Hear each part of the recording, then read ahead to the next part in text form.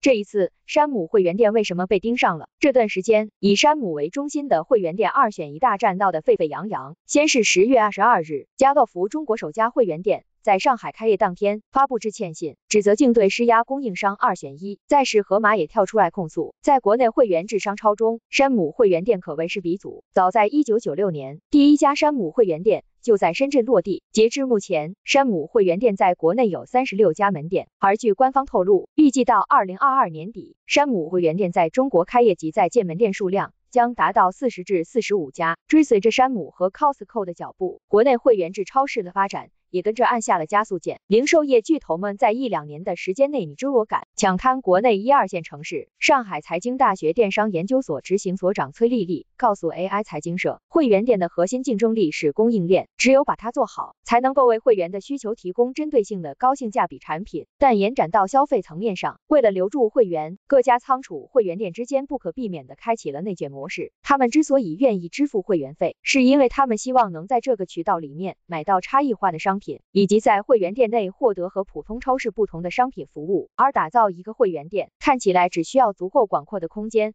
高大的货架和大包装的商品。于是新的现象发生了，大家发现了一个所谓的真实需求和增长之后，开始重复竞争。